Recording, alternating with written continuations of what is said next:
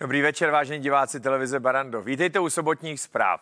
Sobotní zprávy na Barandově eh, až na výjimky nejsou o politických aktualitách. Eh, stává se to málo, ale čas od času i něco politického se v sobotu stane. Třeba když je tisková konference Andreje Babiše a Jana Hamáčka o pozadí výbuchu ve Vrběticích nebo podobně. Dnešní sobota ale bude tradiční. Bude to ohlédnutí za tím, co se minulém týdnu stalo a tak trochu také zhodnocení toho, co se stalo. V průběhu týdne ty věci hodnotím v pořadu týden podle. V sobotu to zrekapituluji a snažím se to dát do nějakých souvislostí. Ta nejdůležitější věc, která se minulém týdnu stala, bylo, že se potvrdil ten trend klesající klesající nákazy nebo klesající, klesající intenzity nákazy koronavirem. Ten počet nakažených se zmenšoval. Počítá se v tisících lidí, což je pořád dost. Každý den eh, bylo nakaženo okolo mezi dvěma až třema tisíci lidma. Ale, ale ve srovnání s dobou před třemi, čtyřmi týdny to bylo poměrně málo. Eh, no, v absolutním čísle je to dost, ale je to podstatně lepší a je to nadějné je to nadějné. Uvolňuje se tlak na nemocnice, uvolňuje se tlak na jednotky intenzivní péče, což je jednoznačně dobře. No a s tím přichází samozřejmě otázky na postupný návrat do normálu. Nemocnice už se do normálu pomalu vracejí, protože byly povoleny ty neakutní výkony, které byly odkládány. Eh, do normálu se pomaličku, polehoučku vrací i školy. První stupeň základních škol při té rotační výuce a z testy už do školy chodí. Od pondělka bylo tedy rozhodnuto vládou, že se vrací v sedmi krajích, tedy v šesti krajích plus v Praze, i žáci druhého stupně základní škol stejným způsobem, s testy a s tou rotací.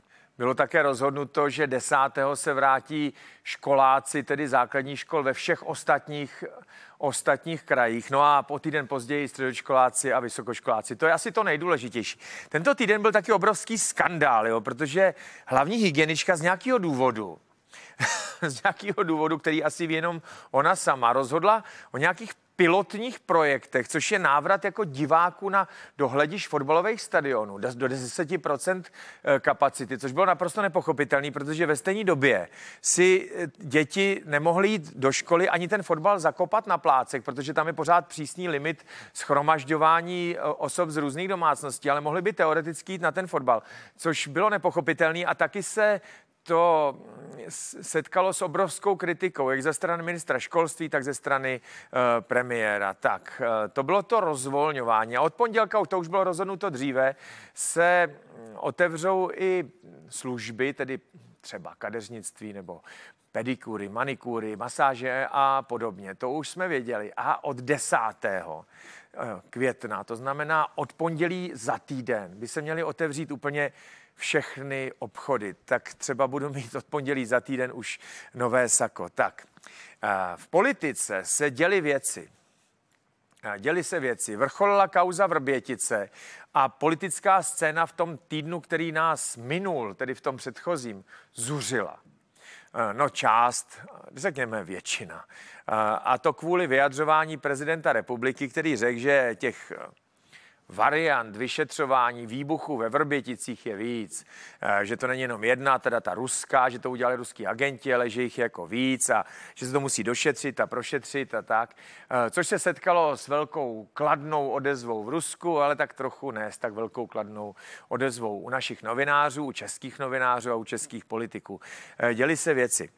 Koalice spolu, tedy ODS, KDU a TOP 09, i na základě tohodle se rozhodla, že se pokusí vyslovit nedůvěru vládě. No, zatím se jim to moc nedaří, protože k tomu, aby byla jaksi svolána poslanecká sněmovna a vyslovila nedůvěru vládě, je potřeba 50 poslanců, což se jim zatím nedaří sehnat. Uvidíme, jestli se jim to podaří příští eh, týden. Proti ním stojí Piráti, ze starostama říkají, ne, ne, ne, to je zbytečný, my chceme rozpustit poslaneckou sněmovnu. A ty druhý říkají, no jo, ale když se rozpustí poslanecká sněmovna, tak by ji pak teda musel rozpustit prezident, což nevíme, jestli udělá. A ještě k tomu, ještě k tomu, dva měsíce podle ústavy tady žádná poslanecká sněmovna nebude.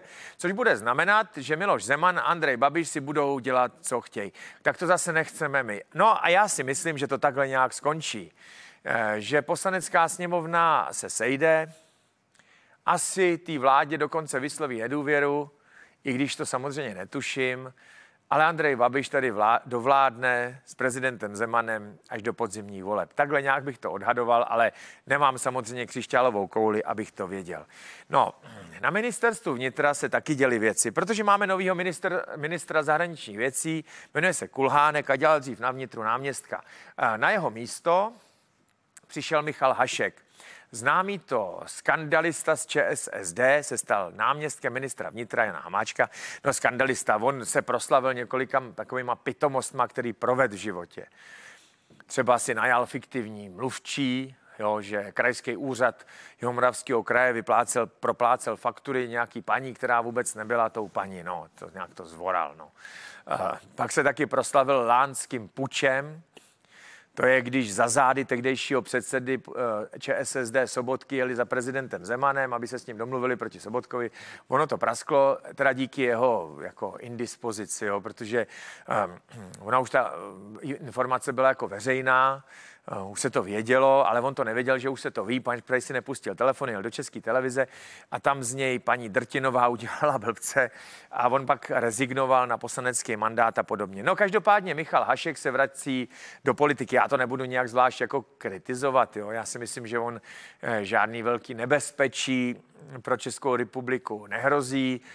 Byl dlouho hejtmanem, předsedou asociace krajů, úředník, úřednický myšlení a způsob, chování a myšlení úředníků zná, tak já myslím, že eh, nám nějak zvlášť neublíží. Jestli ublíží eh, ČSSD eh, jako jejím voličům, no to si musí rozhodnout sami. Tak. Jo, a taky nás Rusové dali na seznam nepřátelských zemí.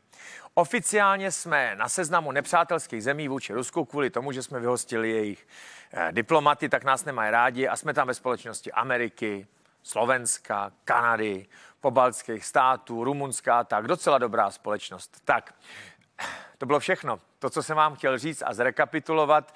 No a těším se zase zítra.